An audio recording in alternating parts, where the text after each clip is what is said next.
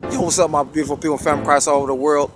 Peep this right here. Can't nothing or no one kill what God has birthed in you by his all-powerful mercy and grace through the true love of Jesus Christ before you was even born. Isaiah 54, 17 says, No weapon formed against thee shall prosper, but every tongue that rises up against thee in judgment thou shalt condemn. This is the heritage of the servant of the Lord, and their righteousness is of me, says the Lord. You feel me? So don't let nobody uh stagnate um, the greatness that God has placed on the inside of you. You feel me?